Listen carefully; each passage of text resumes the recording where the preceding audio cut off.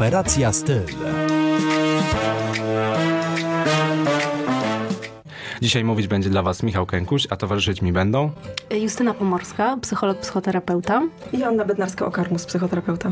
psychoterapeutki pracujące dla gabinetu psychologiczni.pl, które dzisiaj pomogą mi zgłębić temat zdrowia psychicznego, przedstawić na czym polega psychoterapia, dla kogo jest skierowana i jak generalnie dbać właśnie o swoją kondycję psychiczną. Generalnie czym jest psychoterapia, dla kogo jest skierowana i na czym ona polega. Z naszej perspektywy psychoterapia to jest y, metoda leczenia zaburzeń emocjonalnych, y, czyli kierujemy do, ją do osób, które no, cierpią z powodu, nie wiem, lęków, depresji, zaburzeń osobowości, y, różnego innego rodzaju zaburzeń czy objawów emocjonalnych. Y, Natomiast y, wydaje mi się, że tak z perspektywy społeczeństwa, czy w takim bardziej ogólnym zarysie, psychoterapia to są wszelkie oddziaływania psychologiczne, czyli też terapie psychologiczne, na przykład jakieś treningi, asertywności, radzenia sobie ze stresem. Wtedy to już nie jest leczenie, ale no to trzeba odróżniać, tak? Jeżeli idziemy się rozwijać jakoś, żeby sobie lepiej radzić z różnymi sytuacjami, to wtedy korzystamy z pomocy psychologicznej, ale tak dla psychoterapeuty to jednak nie jest psychoterapia. Psychoterapia to jest leczenie. W takim razie w momencie, kiedy nie jest to leczenie, y, domyślam się, że ta psychoterapia może być skierowana dla każdego. Tutaj niezależnie od tego, czy rozpoznajemy u siebie jakieś problemy czy zaburzenia, po prostu możemy zawsze skorzystać z tej pomocy.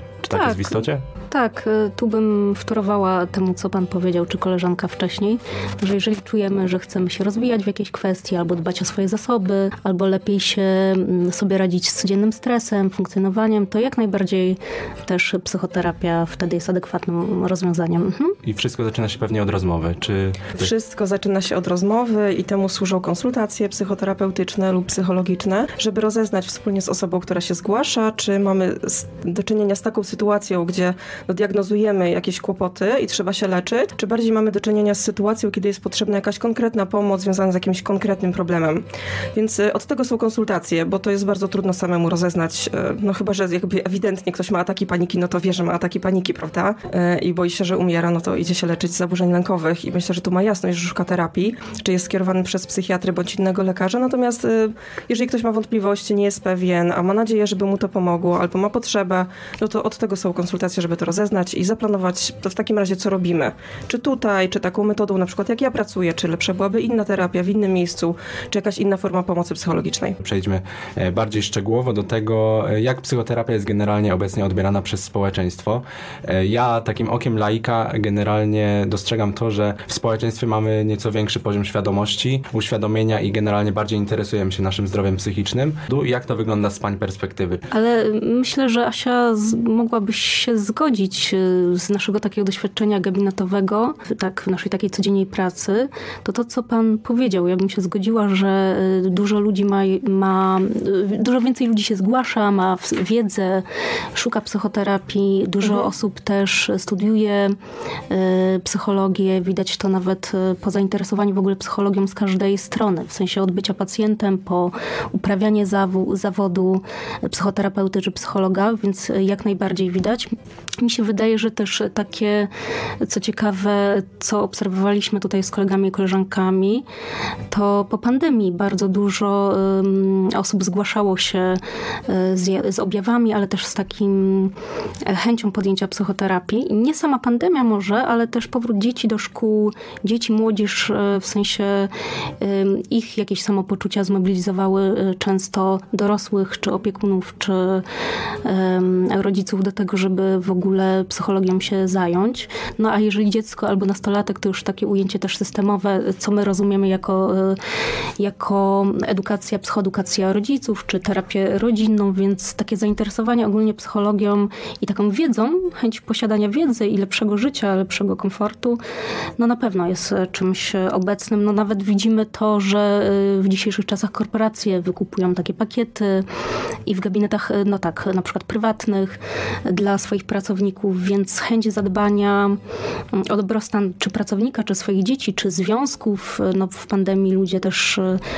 byli siłą rzeczy zamknięci razem w rodzinie, czy że pewne rzeczy się potęgowały, czy problemy, czy jakieś stare odkładane rzeczy w codzienności, w toku takiego tempa były no, właśnie gdzieś pozostawione, a tutaj no, widzimy taką, przynajmniej z mojej perspektywy, większą wiedzę i większą chęć podjęcia mm, psychoterapii. No, duże ograniczenie też jednak bym tutaj powiedziała jest tego, że chętnych jest bardzo dużo, ale kolejki, dostępność psychologów, psychoterapeutów, psychiatrów, no to jest realny problem. Więc z tym się mierzymy, a też koszty psychoterapii takiej prywatnej są bardzo duże, więc zdarza się, no i z naszej perspektywy, mm, że ludzie, że, wspólnie się zastanawiamy, co by było, jak tutaj o tych finansach, e, czy, czy, czy rozrzedzona jakoś w sensie e, terapia raz na dwa tygodnie, e, czy częściowo na NFZ, a częściowo y, prywatnie, no, że to są takie realia mhm. um, dzisiejszych czasów. To co dwa tygodnie to nie jest już terapia, prawda? To już właśnie tak. jest ta pomoc psychologiczna. Wsparciowa taka. Tak. Mhm.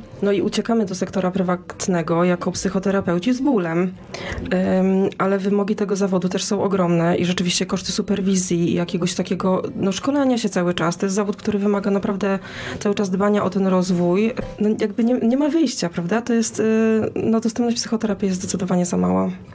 Jest bardzo duże zainteresowanie też szkoleniem się w psychoterapii. Ono wzrosło w ostatnich latach, to też widzimy. I to, co pan wspomniał, jak najbardziej mi się z tym zgodziła, że jest dużo większa akceptacja dla y, psychoterapii, dla korzystania z takich w ogóle usług psychologicznych y, w młodszych pokoleniach pokoleniach. Starsi ludzie mają z tym ogromny problem i często są na siłę zaciągani przez dzieci, takie w naszym wieku. Yy, nie zawsze i tak są w stanie jakoś tak pokonać tą barierę chyba, jakichś takich lęków, tych sposobów radzenia sobie, które kiedyś były tak e, przyjęte i zmierzenia się w ogóle z tym, że już są starsi i co tam się w tym ich życiu dzieje, czego żałują, prawda, jakieś poczuć winy też. Może to też e, to jakoś przeszkadza. Jeszcze w kwestii e, pandemii, o której też pani wspomniała nieco wcześniej, to tutaj pojawiały się takie kawały, może nawet nieco zabawne, zabawne, że e, przez pandemię spędziłem z rodziną tydzień w domu. Okazało się, że to całkiem sympatyczni ludzie. tak. No i e, jednak e, właśnie w momencie, kiedy byliśmy zamknięci w domach, spędzaliśmy tego czasu bardzo dużo. Mieliśmy też czas na przemyślenia i poznanie samych siebie. Jak właśnie też wydarzenia ostatnich lat na świecie, bo powiedzieć, że czas przyspiesza jest już frazesem, ale mm. biorąc pod uwagę to, co działo się w ostatnich latach, czyli pandemia koronawirusa, wojna, w sytuacji ekonomicznej też inflacja, jak generalnie te sytuacje wpłynęły na zainteresowanie psychoterapią. W kontekście tego bycia w domu z rodziną, yy, tak jakoś się uśmiechnęłam, jak pan to powiedział, bo moje doświadczenia są jednak takie, że najwięcej ludzi zgłasza się i szuka pomocy psychologicznej po weekendzie i po świętach. Kiedy właśnie z rodziną byli dużo yy, i kiedy te konflikty wzajemne, jakieś niezgodności, różnice, z którymi trudno się pogodzić, kiedy one tak bardzo mocno nabrzmiały i to było bardzo trudne w pandemii. Ludzie dużo więcej pili alkoholu, yy, związki no po prostu już ledwo wytrzymywały y, to napięcie, więc jest więcej napięcia w związkach, jeżeli ludzie są cały czas razem i nie mają tego oddechu, jak wyjdą z domu. To na pewno miało znaczenie. Na pewno y, obrazy wojny, poczucie zagrożenia w pandemii, jak y, zwłaszcza ten początek, prawda, kiedy baliśmy się mhm. wyjść. Mnóstwo strat, przecież mnóstwo ludzi umarło, prawda? Mnóstwo ludzi to dotknęło. Chyba każdy ma kogoś znajomego, czy gdzieś w rodzinie, kogo stracił y, z powodu koronawirusa. No, poziom lęku gigantyczny. Myślę, że dużo osób, które miały trudności już wcześniej z napadami lęku, nie jest na to tak, tak, tak. naprawdę pacjenci się pogarszali i było dużo takiej pracy nad tym, żeby w ogóle wytrzymać to, co się dzieje. I to dotyczyło wszystkich, y, no nie tylko pacjentów, też psychoterapeutów. Sytuacja była potwornie trudna i na początku pandemii, jak wybuchła wojna, to przystosowanie się do życia w tym, co teraz jest i to, co my widzimy w mediach, co kiedyś było dla nas niedostępne, no nie było takich obrazów, prawda? No, włącza się jakiś portal i po prostu tam widać wszystko. No to jest przerażające i to myślę ma ogromny wpływ y, na poczucie bezpieczeństwa. Więc jakby, jeżeli to mm, otoczenie zewnętrzne nie daje nam poczucia bezpieczeństwa, to tym bardziej potrzebujemy zadbać o to, żeby mieć jakieś oparcie w sobie sobie. I też tak sobie czasem o tym myślę, y, że psychoterapia trochę na tym polega, że żyjemy, nasze życie jest trudne, bo dzieją się różne procesy, chorujemy, umieramy, y, często się też cieszymy, ale jakby doświadczamy bardzo dużo różnych doświadczeń i życie jest trudne, więc chodzi o to, żebyśmy sobie go jeszcze nie utrudniali, żeby jakoś takimi swoimi różnymi y, wewnętrznymi konfliktami, czy takim zagrażającym światem wewnętrznym, żebyśmy sobie jeszcze nie utrudniali poradzenia sobie z tym, co jest. No jakby, że, że te, ten konflikt nabrzmiał, że ta potrzeba ułożenia się samego z sobą, myślę, wzrosła. Jak, jak najbardziej. Jeszcze sobie myślę o tych biznesach, też o takiej ekonomicznej stronie. Mhm. Żałoby, właśnie tak jak wspomniałaś, wojny, pandemii, dzietności, jak nie myślę sobie o takim też e, łatwości, tak jak powiedziałaś Asia, że można zobaczyć od obrazów wojny i takich dosłownych, no, traumatycznych obrazków martwych dzieci, no dramatycznych, tak jak już no, nawet nie będę szukała słowa. No i jak wtedy mieć nadzieję, czy planować, czy, czy zakładać swoją rodzinę, czy jak biznes planować w dzisiejszych czasach. No i tutaj no, też widzę taką mocną stronę psychoterapii. Czasy są, no te wojny się powtarzają, czy te, te wydarzenia są cykliczne. Oczywiście no, są pokolenia, które, no, myślę sobie o naszej historii, y, czy naszych dziadków, czy, czy teraz y, y, naszych, to w czym my żyjemy, no, że jest to szansa wbrew pozorom na to, żeby przepracować, czy jakoś bardziej te zewnętrzne trudne okoliczności nie załamywały nas, czy nie, nie doprowadzały do jakiejś tragedii nawet, tylko żeby móc wytworzyć no, takie sposoby, no to już się powtarzam z Asią, działania, które jak najbardziej będą nam sprzyjać i że tego oparcia będziemy szukali e, w sobie. To nie jest tak, że na zawsze przepracujemy coś i już nigdy nie będziemy się mierzyć z tym, z takimi czy naszymi osobistymi lękami, czy że nic złego już nam się nie przydarzy, czy że nigdy już się nie załamiemy, nigdy nie wróci depresja albo stany lękowe, tylko raczej jest to forma takiego, takich, takiego plecaka z takimi wyposażeniem, które dostajemy na terapii, czy które wspólnie wypracowujemy i do którego zawsze w chwili kryzysu możemy sięgnąć, tak? Znając siebie, znając to, co mamy, co, jaki bagaż, więc e, chciałam tylko to dopowiedzieć, że jasne, lepiej szybciej niż później, nie? W sensie, że straty będą e, prawdopodobnie mniejsze.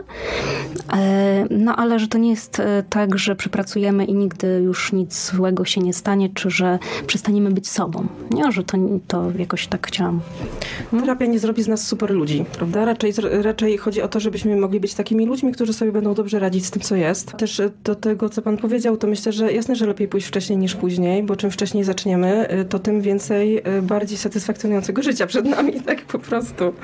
Więc czysto logicznie nie ma co zwlekać, chociaż niestety y, bardzo często zwlekamy. Te treści, które dostarczają nam media, y, bardzo drastyczne, zwłaszcza w momencie, kiedy y, za naszą granicą wybuchła wojna, ale też generalnie do tego, że obecnie jesteśmy przebodźcowywani, że zewsząd dostajemy natłok informacji, one niekoniecznie są pozytywne, wręcz powiedziałbym, że w przeważającej większości są szokujące, negatywne i to też chyba wpływa na psychikę człowieka. Generalnie możemy czuć się przetłoczeni tym, co odbieramy z każdej strony i czy jakoś e, pomoc e, psychoterapeuty może się tutaj okazać e, fundamentalna w kwestii ułożenia sobie tego jakoś w głowie, czy, czy jednak mimo wszystko z tym nie jesteśmy sobie w stanie poradzić? Nie? Ja myślę, że już sama obecność drugiej głowy, w sensie takim, że psychoterapia no, jest relacją z drugim człowiekiem i sama obecność tego, że dwie, dwie osoby, no psychoterapeuta też nie jest z innego świata, prawda? W sensie takim to samo gdzieś widzi, to samo funkcjonuje w takiej samej y, rzeczywistości polityczno-geograficznej, nie? I jakoś sobie o tym pomyślałam. Już sam fakt niebycia samemu z tymi obrazami, tak? I mówienia o tym, o uczuciach, o myślach, o lękach, y, o zrozumieniu, co tak naprawdę widzimy w tych obrazach, bo każdy będzie inaczej je, no tak sobie myślę, że y, otworzenie strony, tak? Info, internetowej czy jakiegoś obrazu, każdy co innego tam zobaczy, nawet jeżeli to jest ogólnie drastyczne i każdy będzie miał inne lęki, inne skojarzenia, inaczej się to przełoży na jego życie. Ale to, co ja jakby bym tutaj wyjustowała, to to, że nie bycie z tym samemu, tak? Że, że z takimi bardzo bodźcami, tak jak pan powiedział, atakującymi nas i głównie negatywnymi, przestraszającymi, że sam już fakt tego, że jesteśmy z kimś w tym, tak? Z drugą głową, w gabinecie z psychologiem, psychoterapeutą, no już tworzy możliwość przepracowania czy takiego nie bycia samemu, nie? Jest taka przestrzeń do refleksji wtedy nad tym, ale my się też zastanawiamy, ile tego jest. Czy ktoś na przykład kompulsywnie nie klika i nie ogląda i nie karmi się tymi y, obrazami i jest jakiś taki w tym też sadystyczny, okropny dla siebie, prawda? Bo dlaczego? Dlaczego tyle tego oglądać? To jest, ale to nie znaczy, że musimy na to patrzeć. Możemy się orientować, co się dzieje, możemy współczuć, możemy pomagać na ile się da, czy na ile chcemy, czy jest to w naszych możliwościach, ale nie musimy tego na okrągło oglądać, bo to nas dewastuje jednak psychicznie krytycznie. I myślę, że to jest bardzo ważna sprawa, że no jak żyjemy w takim świecie jak teraz, to bardzo ważne jest, żebyśmy byli też krytyczni wobec tych informacji, które do nas docierają, wobec tego, jak korzystamy z tych mediów, bo możemy tam znaleźć wszystko, prawda? Można popłynąć w każdym temacie. Ważne jest, żeby umieć jakoś tak, umieć o tym myśleć i to oceniać, w co się angażujemy. Mm, w kulturze też to też nie jest wymysł XXI wieku, bo oczywiście e, sięga to swoimi korzeniami dużo wcześniej, ale że generalnie osoby, które borykają się z jakimiś problemami e, w swoich głowach, często są uważane za bardziej pociągające, atrakcyjne i czy to też jest, czy to jest po prostu bezpieczne, bo wydaje mi się, że wśród osób, które nie mają jakiejś większej świadomości, szczególnie mm -hmm. wśród młodszych odbiorców, może to budować takie zainteresowanie, że chciałbym mm -hmm. być mhm. taki jak on, chciałbym mm -hmm. mieć podobne problemy, chciałbym być takim outsiderem. Oczywiście nie mówię, że tak musi być, ale generalnie może to do tego prowadzić. I jakie panie widzą też e, w takim romantyzowaniu tych różnych zaburzeń e, inne problemy? No, chyba bym rzeczywiście wyłowiła to, co pan powiedział o młodzieży, że myślę sobie e, o terapii e, młodzieży, e, że oczywiście książka czy film to jest zawsze jakaś podkładka, zawsze jakiś mianownik, jakiś podkład, kto jak to wykorzysta i na kogo, kto będzie odbiorcą i co z tego zrobi.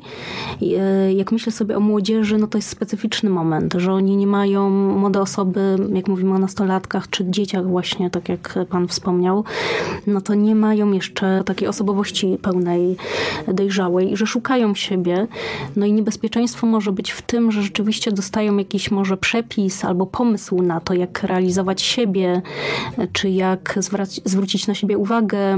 Tylko, że to jest taki miecz obusieczny, bym powiedziała, bo jeżeli to jest, tak jak pan wspomniał, Jokera, tak, no jakoś e, myślę sobie, że to może być wyraz, tak jak zawsze była sztuka, wyrazem jakiegoś cierpienia, mm, jakiegoś namysłu wspólnego, tak, tak, y, y, nad kondycją y, mm, naszą, czy takiego motywu zemsty, czy upokorzenia, tak, siania zniszczenia, że dopóki jest to wyraz taki metaforyczny i taki, że my sobie oglądamy, rozmawiamy o tym, jest to punktem wyjścia, no to nie, jak naj, uważam, że temu służy, tak, film, czy, czy sztuka, czy książka może temu służyć, no ale młodzież rzeczywiście bym, nie chodzi o takie dawania nawet bana, chociaż niektóre treści rzeczywiście nie powinny być e, tutaj e, dorośli, powinni interweniować, jeżeli na przykład kiedyś była taka, takie różne profile na temat anoreksji, tak, że taka była gloryfikowana zaburzenia odżywiania, czy moja przyjaciółka anoreksja, e, to oczywiście jest to szkodliwe dla dzieci czy młodzieży, no ale myślę sobie, że też, że nie samo zakazywanie tak, jakieś treści, tylko rozmowa z młodzieżą na temat i w ogóle z ludźmi, nie? w sensie na tym, co, co siedzi, co jest aktualne teraz w ich psychice, jakieś stwarzające problemy, więc jakoś tak myślę sobie. Zakazy, oczywiście, jeżeli chodzi o młodzież, zakazy w sensie takie, jakaś selekcja tej treści, rozmowa, e, feedback, e, jakaś informacja zwrotna od e, dorosłych, przytomnych ludzi, tak? No ale mm, nie ustrzeżemy od wszystkiego młodzieży, czy no jakoś sobie myślę dzieci, więc też e, adekwatna rozmowa systematyczna. Ja bym dodała, że to też dotyczy niedojrzałych dorosłych. Mnóstwo jest ludzi, którzy mają tak niedookreśloną tożsamość, nie wiedzą co myśleć, jak myśleć, nie ufają swoim osądom i wtedy łatwo jest popaść w takie właśnie idealizacje. Albo taką totalną idealizację czegoś, albo dewaluację. E, no i wtedy jesteśmy dużo bardziej podatni na takie skrajne jakieś ruchy. I to jest niebezpieczne. Y, ale też chyba są gloryfikowane często takie y, patologiczne związki, zwłaszcza w serialach, prawda? I dla młodzieży, i dla dorosłych. Że oglądamy i potem to jest takie zaskakujące, że ulubiona postać na całym świecie to jest ten najbardziej sadystyczny, okrutny y, mężczyzna. I w wielkiej skali później to wpływa na to, jak społeczeństwo, jak młodzi odbiorcy wyobrażają sobie związek, że mm. w momencie, kiedy dana sytuacja przedstawiona w serialu nie spotyka się z, generalnie z jakąś większą krytyką, później doświadczają tego, czy to na własnych przykładach, czy też w relacjach swoich znajomych i no, wszystko jest w porządku, wszystko normalnie, przecież e, każdy związek tak wygląda, więc tutaj chyba w tej kwestii to też jest słuszne spostrzeżenie. Jeszcze tak myślałam, Asia, drugą stronę, żeby powiedzieć, że e, takie e, dysfunkcyjne związki, ale też takie idealne są pokazywane. Tak. Wtedy ludzie bardzo szybko, znaczy, no, przychodzą do gabinetu z myślą, że powinni się rozwieść bardzo szybko, bez próby namysłu nad kondycją związku, czy po urodzeniu dziecka, nie? W sensie tak. takim, że pierwszych takich kryzysach. To są dwie strony, że albo właśnie takie e, romantyzowanie dysfunkcyjnych, skrajnie emocjonalnych związków, e, może trochę sadomasochistycznych, no różnych, w różnych kawałkach, no albo takich bardzo słodkich, bezkryzysowych, e, takie materiały, które też no, są szkodliwe z drugiej strony. Że, to idealne mamy, prawda, zawsze uśmiechnięte, nigdy nie tak. zmęczone, czyli taka normalizacja patologii, patologizacja czegoś normalnego, można by pomyśleć, że często nie wiemy, co jest normalne. I budowanie wygórowanych standardów. Ja mhm. myślę, że tutaj pod to też e, można podciągnąć media społecznościowe, gdzie zwykle mamy tendencję do pokazywania tego, co jest w nich najpiękniejsze, e, znaczy no nie w nich, tylko w nas. E, zawsze na tysiąc zrobionych zdjęć wybierzemy tylko to jedno, gdzie akurat lewy profil mhm. wygląda idealnie. Wrzucamy relacje tylko z dnia, kiedy akurat byliśmy na lodach, poszliśmy do kina i mhm. jeździliśmy na rolkach, a jednak w momencie, kiedy mamy gorszy dzień, płaczemy, mamy jakieś swoje codzienne problemy, tego nie pokazujemy, to jednak chowamy przed innymi ludźmi i to też jednak no, myślę, że każdy ma taką refleksję, że jednak e, życie drugiej osoby niekoniecznie jest usłane różami i nie każdy dzień wygląda w ten sposób, ale w momencie, kiedy e, mamy te treści dostarczane codziennie od różnych odbiorców, w poniedziałek od odbiorcy A, w poniedziałek od B, mm -hmm. w środę C, tworzy się taki wyidealizowany świat i myślę, że to też mm -hmm. może jednak budować w naszej głowie takie spojrzenie, że z naszym życiem jest coś nie tak, my niecodziennie jesteśmy szczęśliwi i mamy swoje problemy. To chyba też jest taki problem współczesnego społeczeństwa. Tak, takiego trochę narcystycznego, prawda? Że wszystko ma pięknie wyglądać, a to, co jest w środku, jest ukryte y, i jest taka mała tolerancja właśnie dla depresyjności, dla gorszych momentów, dla tego, żeby nie być na topie. No to też, no niestety w terapii odzieramy się trochę z tych idealizacji, staramy się urealnić jednak to spojrzenie na siebie i na innych. No niestety w cudzysłowie, nie? bo to jest to, przykre tak, i czasem się poza tym tęskni, tak. ale to nie jest zdrowe. Mhm, to nam nie pomaga. To prawda. E, dlaczego warto zainteresować się psychoterapią? Jak nie bać się skorzystać z pomocy pomocy osób, które profesjonalnie będą w stanie nam tej pomocy udzielić.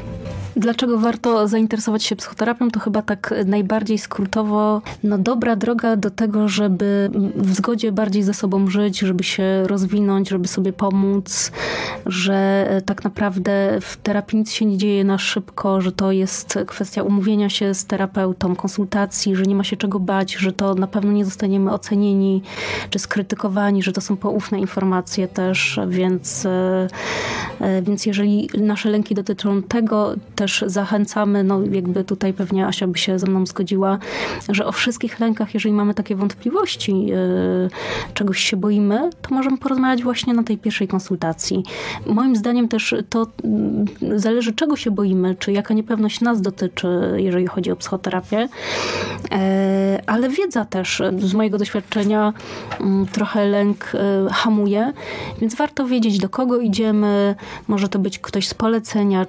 Śmiało można zapytać psychoterapeutę, czy się superwizuje, nawet bym polecała. Mhm. Absolutnie nie jest to e, coś, co urazi psychoterapeutę. Z jaką szkołę skończył, jakie jest jego wykształcenie, z kim pracował, czy ma w tej dziedzinie w ogóle e, doświadczenie. Jak najbardziej zachęcam do tego, żeby o, o lękach rozmawiać też z psychoterapeutą.